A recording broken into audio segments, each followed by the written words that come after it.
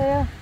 저희 지역은 기습 한파로 이렇게 지금 눈이 굉장히 많이 왔고 영하 10도 이하로 떨어져서 굉장히 체감 온도는 그보다 더 낮아가지고 추운 날입니다. 2, 3도 더 낮은 저희 지역과 2, 3도 더 높은 아랫마을에 부직포 처리를 하지 않고 월동시킨 마늘과 저희 부직포 처리를 해서 월동시킨 마늘을 한번 비교해서 여러분들께 보여드리고자 영상을 준비를 했습니다.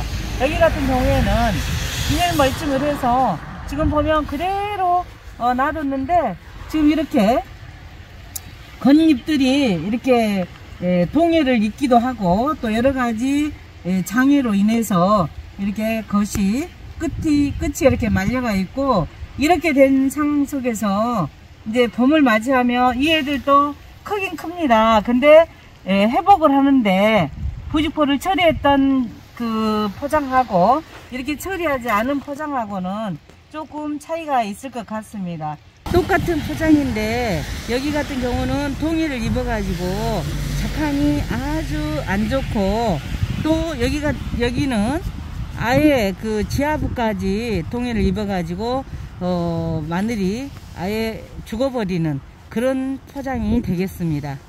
낮 최고 기온이 영하 4도이고 그래서 그런지 지금 눈이 온 거에 지금 햇빛이 비쳐도 녹지 않고 있습니다. 저희 집 마늘은 엘그로우 부직포를 처리해서 월동을 해줬는데 어떻게 되었나 한번 보여드릴게요. 자 한번 지금 부직포를 걷어 올려 보겠습니다.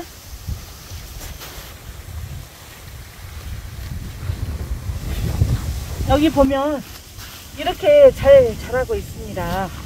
네, 싱싱해가지고 이렇게 잘 자라고 있네요. 지금 눈이 누르고 있어서 지금 못 걷는데요.